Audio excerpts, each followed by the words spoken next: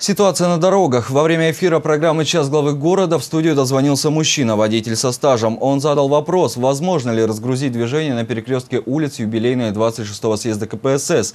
В вечернее время на этом отрезке дороги пробки. Городначальник обращение принял на заметку и дал указание специалистам разобраться в вопросе.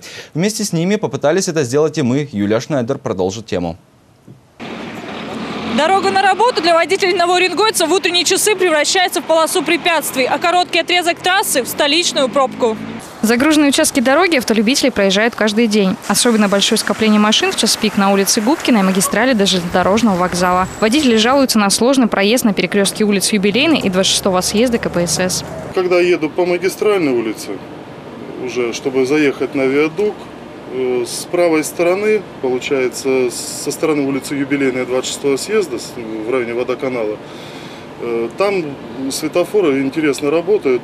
Получается сплошной поток оттуда вечером, чтобы заехать э, людям на мост. Приходится вот, ну, где-то до 5-7 минут стоять, дергаться. Решением вопроса занялся Департамент городского хозяйства. По словам специалистов, для начала нужно подсчитать количество проезжающего транспорта и проверить, как выполняют водители правила движения на этом отрезке дороги. Посмотрим, какие дополнительно знаки можно поставить. Может быть, где-то стоп. Может быть, вот эта стрелка э, пешеходный переход, которая на 26-го съезда, юбилейный, мы ее настроим так, что она будет отсекать транспортные потоки, и в этот момент э, пешеходные будут все гореть зеленые.